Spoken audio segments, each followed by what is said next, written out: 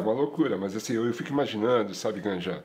O primeiro, obrigado por você estar aqui, né, velho? Porque, pô. Obrigado pelo Há um convite. tempão a gente tava planejando Sim, isso. é verdade. E daí, depois do planejamento, a gente se tá, vamos fazer, daí eu fiquei pensando assim, um tema, um tema legal, um tema bem legal, então de um artista legal. E eu falei, óbvio, Tim Maia.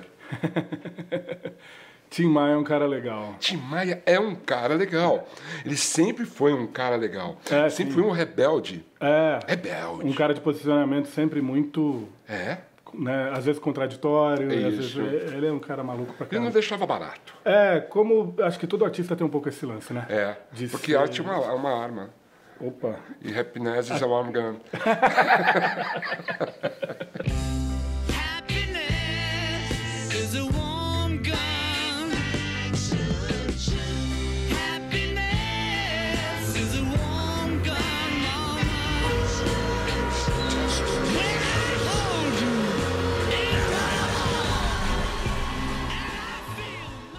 Eu, eu lembro do começo, assim, eu- da biografia dele mesmo, né? Que é o lance da pensão da mãe.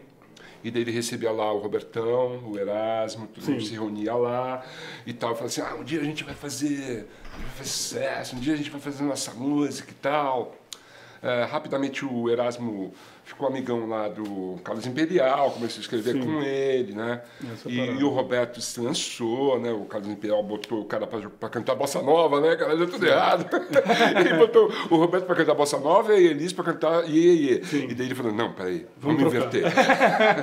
e daí o Roberto, assim, rapidamente ele começou a se impor, né? O Tim Maia não, demorou muito tempo. Até a hora que ele falou assim, chega dessa merda, eu vou pros Estados Unidos. Sim.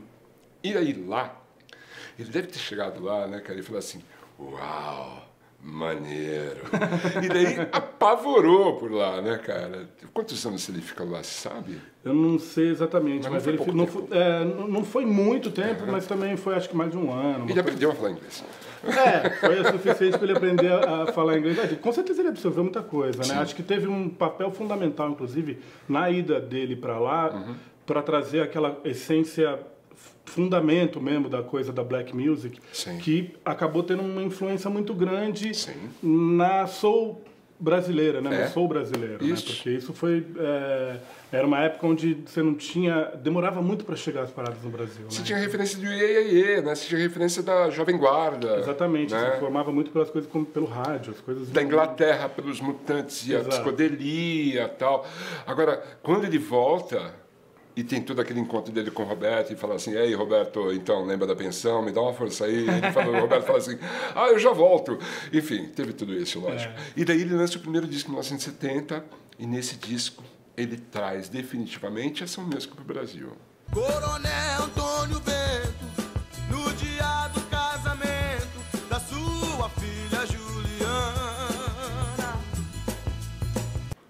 divulga definitivamente a sua música no Brasil. É, antes disso tinha uma galera que estava já Tinha. fazendo, mas era, era diferente. Nesse aspecto que eu acho que o Tim Maia teve um papel bem é, de um turning point, assim, sabe? Uhum. Porque ele trouxe algo que estava muito atual com aquele momento na gringa, nos Estados Unidos em especial, que era onde tinha, acho que a maior... é, era Motown, era toda aquela, É. aquela movimentação. E o que vinha sendo feito disso no Brasil era uma coisa que tinha uma outra pegada. Esse lance mais sincopado, mais funk mesmo, que era James Brown, que era o que essa galera tava fazendo, ele realmente chegou com isso.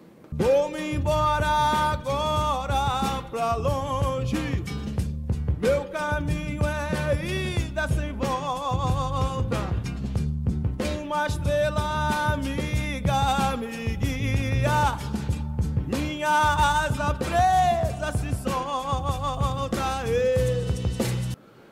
Isso teve um impacto tanto que o próprio Roberto Carlos bebeu muito dessa fonte e acabou indo para lá para tentar tirar essa mesma sonoridade, essa mesma, né? Isso foi Lógico! Porque, pô, né? O disco da praia, Exato. né? Não posso mais ficar, não, não, não. Não posso mais ficar, não. Não vou ficar e tal. Exatamente. Né? Metais.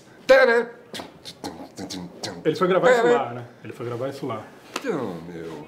E daí, assim, o Tim Maia deve ter olhado e falado assim: hum, vai na minha pensão, não paga a conta. Depois peço uma força e ele me dá umas costas. Daí ele vem, pega meu som. Ah, se o mundo inteiro me pudesse ouvir, tenho muito pra contar, dizer que aprendi. Deve ter ficado meio mordido. Na sequência, assim, ele tem. Ele, ele lança um disco por ano, assim.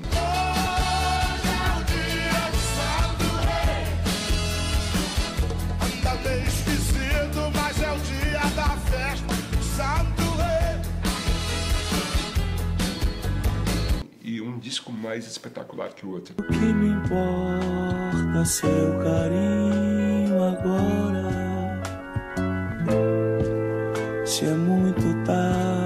Para amar você. Chega um momento que ele começa a, a- a fazer interferências de samba mesmo no som dele. Sim. Venho lhe dizer se algo andou errado. Eu fui o culpado.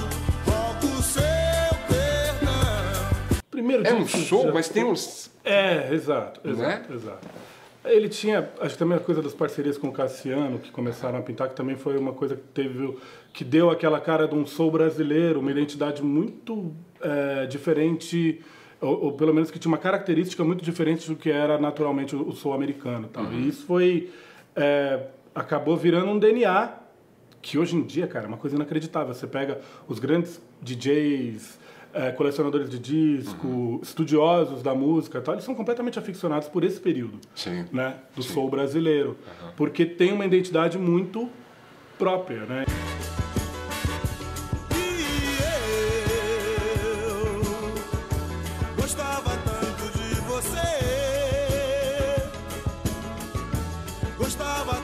de você.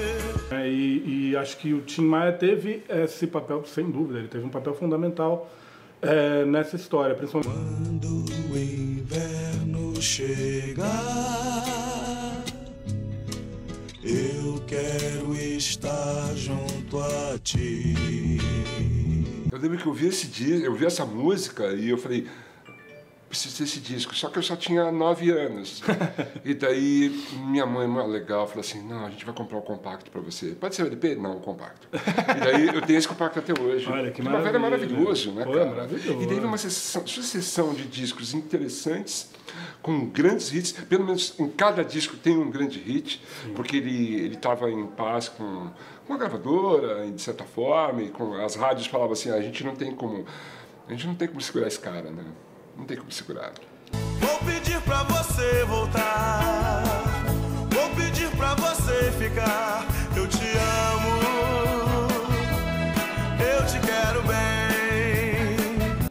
Eu acho que tinha uma coisa do momento ali, é, a forma com que o mercado musical, que era uma coisa nova, tanto no Brasil como no mundo inteiro, na verdade, era um, o a música como algo de real impacto financeiro, econômico e tal, era uma coisa nova. Sim. Acho que veio com, sei lá, Elvis, Beatles, tal, quando essa coisa começou a os grandes empresários falar, pô, essa parada dá dinheiro, né? E acho que isso, é, como para os artistas era tudo muito novo. Então, a relação com as gravadoras era uma coisa muito predatória. Não tinha tanto que vários artistas que hoje em dia, é, sei lá, grandes nomes da música popular brasileira tentam negociar, renegociar as coisas que eles tinham feito naquela época, Sei. porque a relação com as gravadoras realmente não era fácil.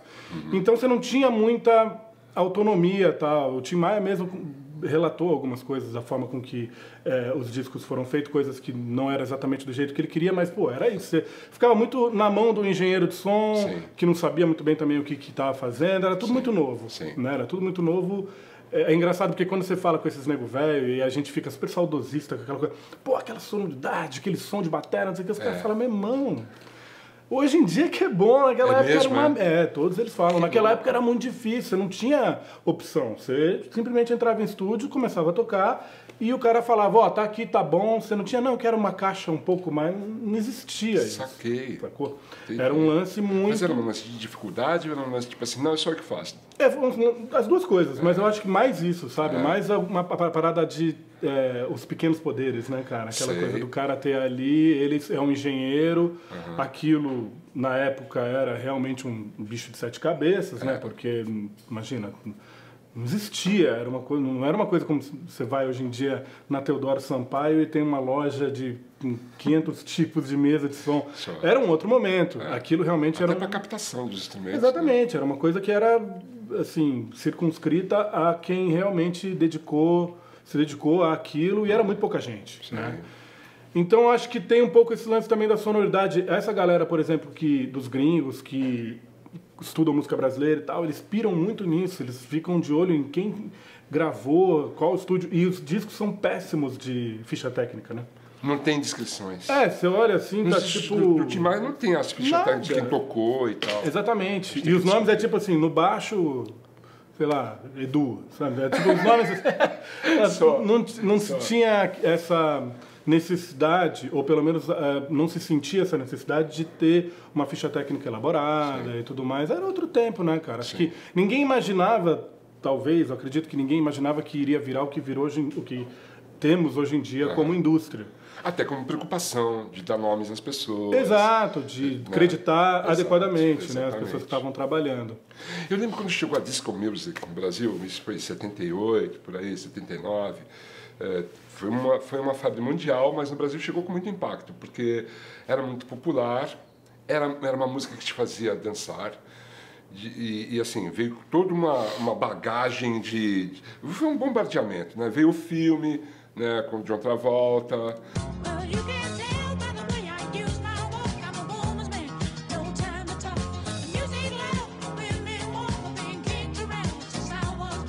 E daí as discotecas apareceram no Brasil. E era uma coisa meio distante, assim, porque a gente não- eh, as discotecas eram muito caras, né, cara? Sim. Era difícil ir numa discoteca. Mas daí veio a novela, o A novela, Days. exatamente. é.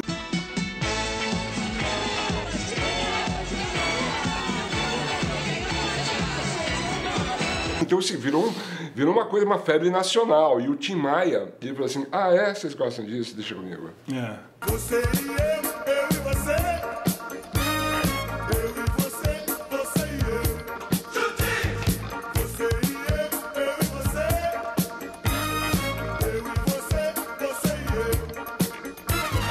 E lançou o Disco Club, que é maravilhoso. Que foda, cara! é, e e eu percebo que ali tem... é, ali, meu, eu não sei quem foi o engenheiro do som, mas deu tudo certinho. Então, ali já é uma outra fase, que já é final dos anos 70, começo dos anos 80, que aí já tinha uma autonomia maior, já tinha. eh, os recursos para se gravar eram bem melhores. Sei. Se eu não me engano, esse disco já tem arranjo do Lincoln Olivetti. Tá.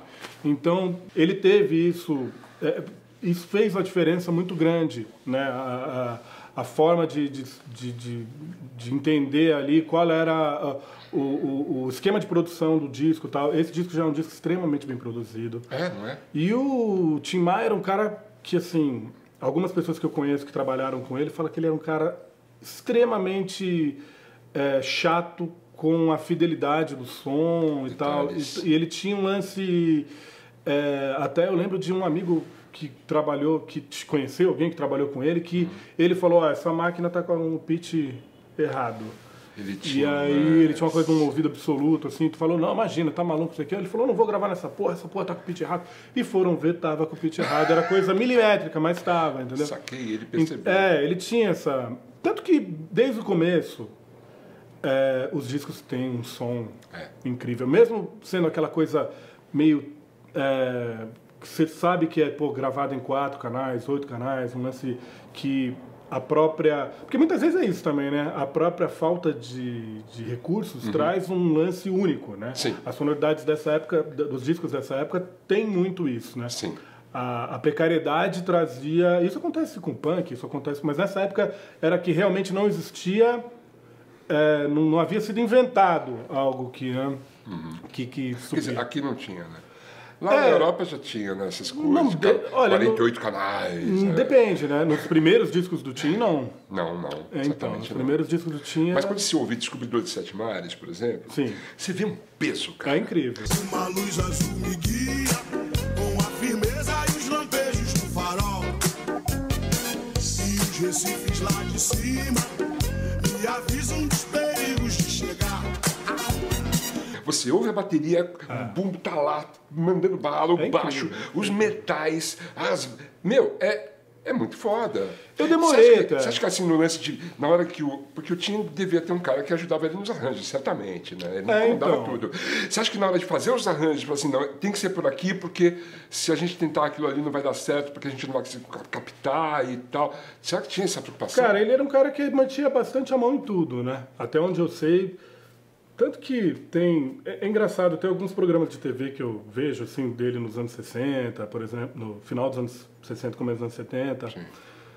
É, tem tipo ele tocando bateria e cantando. É, tipo exemplo. James Brown. Na verdade, tem um, um, um programa dele do Jô Soares, nos anos 80, na Uhum. época que o Jô Soares era no SBT, que Sim. ele tá tocando bateria e cantando. E, assim, pra mim, eu fico vendo, falando, cara, eu acho que ele deve ter encanado na do baterista e falado, meu irmão, sai daí que eu vou tocar essa porra.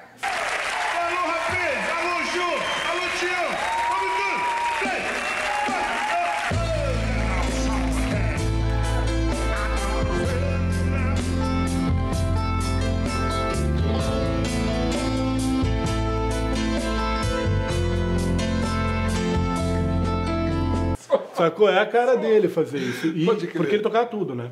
Ele era. tocava bateria, tocava baixo, tocava guitarra, Só. claro. Sim, eu lembro de uma vez que ele fez uma declaração que eu, eu tomei como ah, uma declaração de amor. Ele disse: Ah, Tenebane, é o seguinte, cara, tem que se encontrar, preciso dar uns toques, preciso tocar baixo, porque você não toca porra nenhuma de baixo, entendeu? Eu levei isso com carinho. Os era um- encontros com o Tim Maia eram muito loucos, Pô, né? eu imagino, não Uma vez no programa livre, no camarim do programa livre, estava lá, eu ia me apresentar, e daí o Tim Maia também. E daí ele chegou no camarim, André, e aí, velho, trouxe um negócio pra você. eu não consegui. Foi a primeira vez que eu vi o. Como é que se chama mesmo o negócio? É, é uma coisa. É, é, skunk, é isso. Cara, eu fiquei assim, tipo, nossa, eu não consigo. Alguém leva esse negócio aqui. Impressionante. O Tim Maia tinha esse, esse lance carinhoso, né? É, E- Ele era um cara difícil, né? Todo Ele mundo era. fala que. Uma vez ele... eu quase morri no prédio dele, eu fiquei com medo. Daí eu, assim, é, a gente ia se matar juntos. É, ia, ia ser complicado. Ia ser bem complicado. Na hora dos shows, tinha aquele lance de falar assim: mais baixo, Sim, sim. mais metais, eu quero ouvir a guitarra, eu quero ouvir minha voz, mais tudo. Ainda bem que eu vim para passar o som. Se eu não viesse para passar o som, ficaria muito ruim. Antes de mais nada, por favor, bota agudo no bumbo, meu filho. Eu vi dois shows do Tim Maia É. só, na vida, assim, Sim. porque, enfim, na época eu tinha 19 anos, né? Então não tive muita oportunidade de ver ele ao vivo. Eu lembro de um show claramente, é, que foi um show, acho que foi no ginásio de Ibirapuera, é, que foi ele e o Jorge Ben. Ó, E era bem uma época do W Brasil Sei. ali, que o, o Jorge Ben estava bem estourado. Aham. E o show do Jorge Ben foi aquela coisa super impactante, super. Sucesso. Né, tal, e ele foi um caos, assim. É. Ele o tempo inteiro falando, pô, só reclamando, o show Só. todo. Que acabou virando um folclore É, até, né? Por virou parte uma coisa dele. dele. assim. O cara. É. É. é que acho que talvez o Tim Maia tenha sido um dos artistas que teve a história mais maluca, se você for ver a trajetória dele toda, a coisa do, do racional, e sabe, é, tem toda uma particularidade que, se você analisar também os caminhos musicais que ele foi, porque o lance da Seroma, que foi a gravadora, ele foi a primeira gravadora independente do Brasil, né? Ele começou a Seroma, se eu não me engano, ele começou por causa do- dessa parada do racional. sei. Porque ninguém queria lançar e falou, se ninguém quer lançar, eu vou lançar essa porra. Pode crer. E aí lançou e foi meio um fracasso. O caminho do bem. O caminho do bem. O caminho do bem. Depois ele inclusive mandou tirar os discos, depois que ele teve lá as, ah, os problemas dele com o, o tal do Manuel lá, o, o- o pastor, o, o que quer que seja, o guru lá da, da seita do, do Sim. Universo em Desencanto. E ele mandou tirar de circulação, por isso os discos são tão raros, inclusive, né? Mas se você for ver a trajetória dele, todas essas loucuras que aconteceram durante a vida do cara, também isso de alguma forma se passa pra música e traz uma pluralidade inacreditável, assim. Tem discos dele que são horríveis, sacou? Do Tim Maia, é muito louco isso. E tem discos que são assim, das melhores coisas que já foi feita na música mundial. Não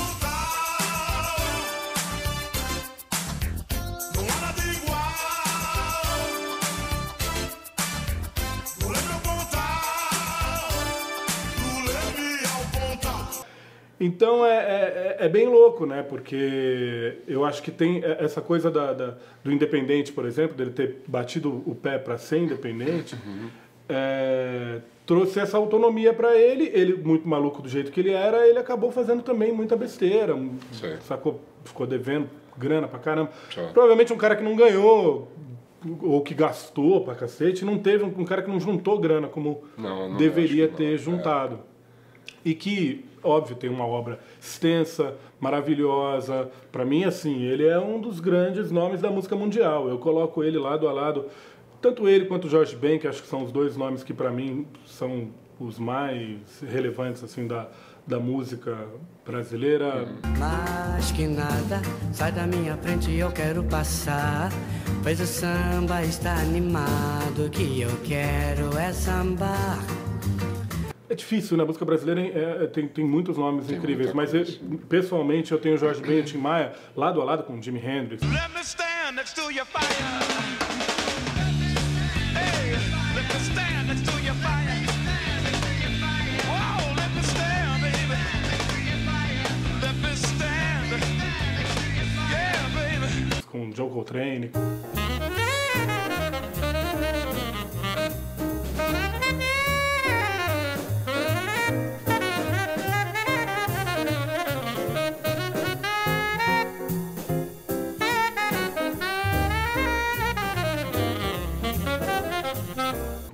Marley. Buffalo soldier, dread like rasta. It was a buffalo soldier in the heart of America. Essa coisa, esses caras, pra mim, ele tá no mesmo patamar, assim, sabe? E ele tem um, um- uma história. É é que é diferente, claro, no caso de alguns artistas que tiveram a discografia inteira impecável. Ele não teve isso, ele teve discos que realmente não são discos bacanas, são muito mal acabados. Teve uma época, um período que ele lançava muita coisa, assim, discos temáticos. Ah, vou fazer um disco de bossa nova. Quiet nights, quiet stars, quiet chords from my guitar, floating on the silence that surround us. E esses discos não tinham acabamento, porque eram feitos meio na correria, num estúdio meio próprio e tal. sim. É, mas é muito louco, né? Porque isso reflete muito quem é, É. o cara, sacou? Reflete Você- demais. a sua relação é evidente. Na época do Instituto, você fazia uns shows executando obras do Tim Maia, né?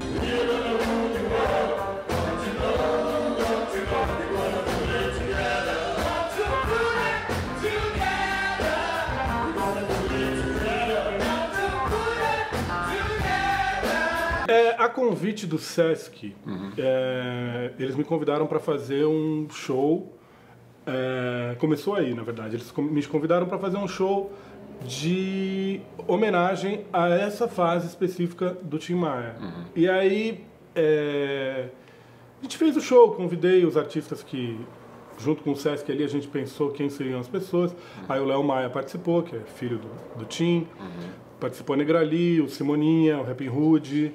É, é, o Kamal, acho que participou, não lembro. O Kamal participou, acho que depois, não lembro se nesse show ele já participou. E, pô, foi incrível. O Carlos da Fé participou. E aí, o Carlos da Fé, a gente se conectou muito. Da Fé, pra mim, é um dos grandes é, nomes também da música do soul music brasileiro. E a gente se conectou muito, a gente ficou muito amigo, muito próximo. E aí eu falei, pô, isso aqui não dá pra morrer, morrer aqui, cara. Abra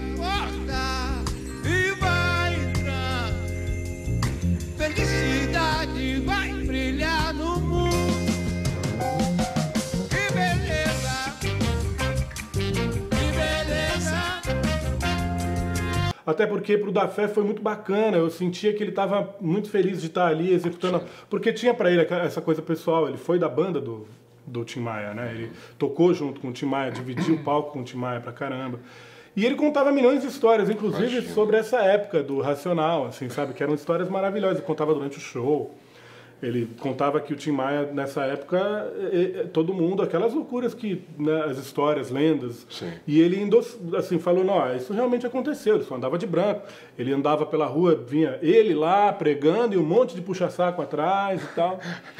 Ele falou que uma vez ele estava em algum, acho que em Copacabana, no Rio de Janeiro, que ele viu que o Tim Maia estava vindo e ele já tinha meio dado a área da banda, porque era aquela coisa. Quem não quisesse entrar no universo em desencanto estava Tava fora. fora. E ele falou que ele viu, ele meio que se escondeu atrás de um carro, assim, falou, puta, esse cara vai encher meu saco. Aí, aí alguém viu, Uhum. e cutucou, falou, olha lá o da fé, e ele falou, Carlos da fé!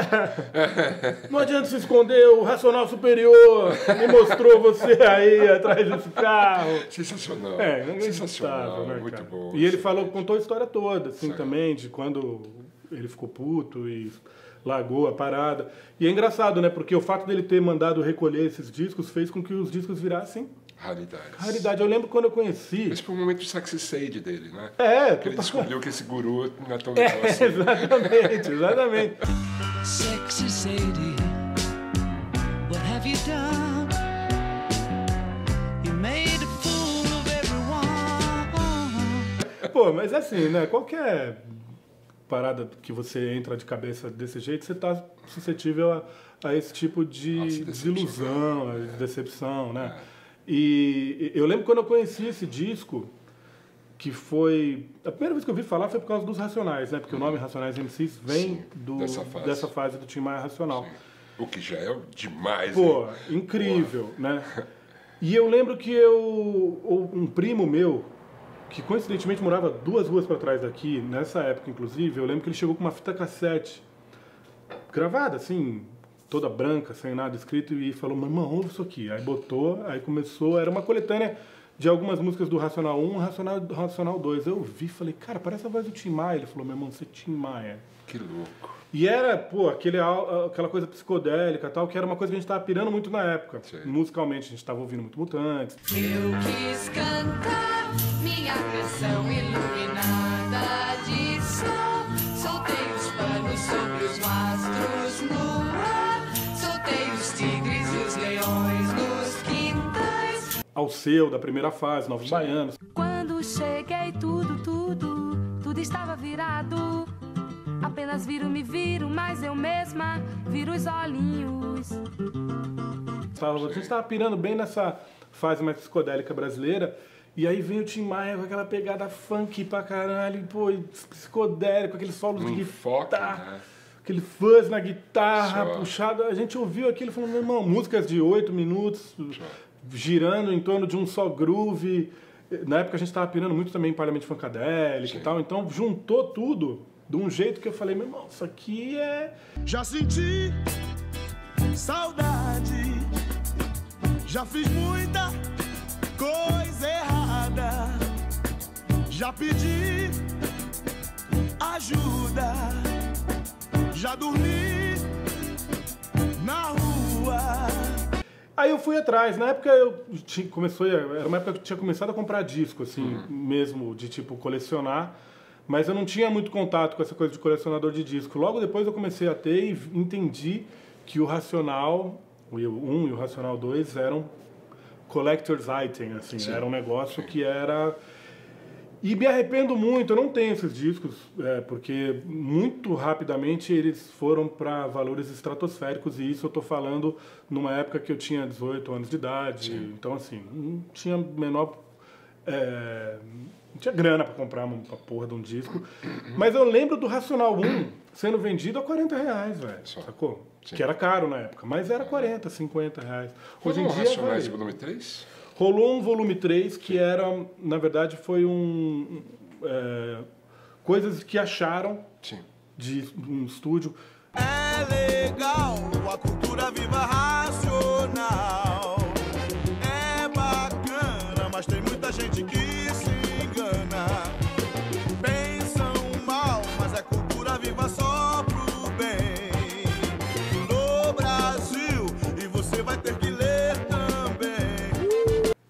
Histórias são um pouco. Talvez as pessoas envolvidas nessa, nessa, nessa, nesse garimpo aí podem explicar um pouco melhor, que foi o Cassim é, de um lado o Cassim, do outro lado Dudu Marotti, ambos encontraram esse material por, vias diferentes e meio que começaram a trabalhar em cima para fazer a coisa acontecer. Mas até pra, onde chegou para mim é que eram tapes é, de fitas de duas polegadas, né, master tapes da época, que estavam jogadas num- numa garagem de alguém que tinha trabalhado no estúdio. oh, Desculpa, bicicletinha. que tinha trabalhado num estúdio Sim. que na época é, eles tinham gravado essa parada. Sim. E eram coisas que não tinham sido lançadas, coisas que ele inclusive nem terminou. Que louco. É, são músicas meio inacabadas. O Racional 3 ele é tipo, na verdade, um material póstumo e assim, que teve que ter uma pincelada final ali pra ficar com uma cara apresentável como disco mesmo, né? Para encerrar nosso papo, assim, eu, queria, eu queria colocar duas músicas do Tim Maia. Eu pensei em Sossego, porque Sossego é foda. Ora bolas, não me amole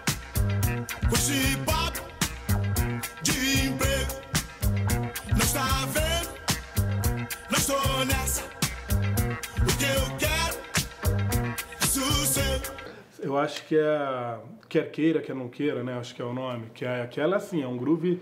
Então, de can, can, Queira ou não queira, todos vão ler o universo em desencanto, que são mensagens de um lugar superior. e fica... E também tem aquela outra We're Gonna Rule the World. Essa, essa é um mantra. We gonna rule the world, don't you know, don't you know?